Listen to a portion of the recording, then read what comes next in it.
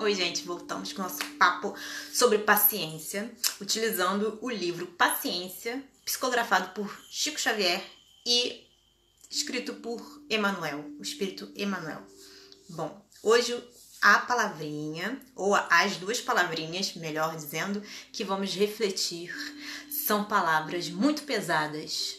Espero que vocês possam é, se sentir mais leves, apesar das palavras serem bem pesadas depois dessa reflexão. Tá legal? Hoje a gente vai falar, refletir sobre suicídio e delinquência. Então vamos ao nosso texto, não é mesmo? Vamos lá. É... Bom, suicídio e delinquência. Todo rio procede de uma nascente simples. A maioria dos incêndios se alteia de alguma faísca. Assim também sucede com o suicídio e a delinquência.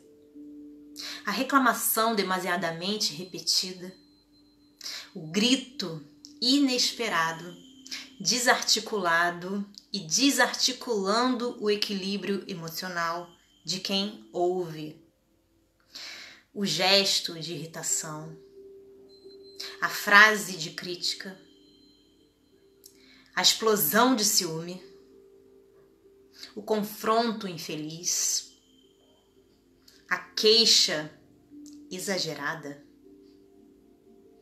a exigência sem razão, a palavra de insulto, a resposta à base de zombaria ou compromisso desprezado e por aí em diante.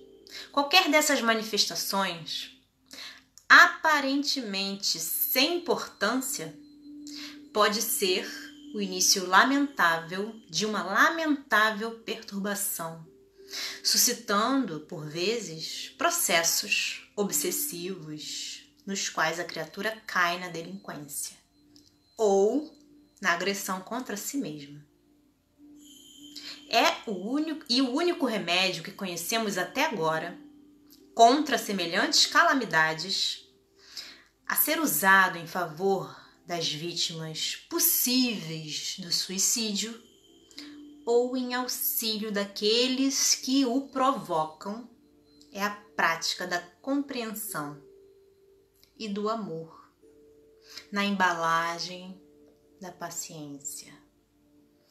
Conserva a fé em Deus e em ti mesmo.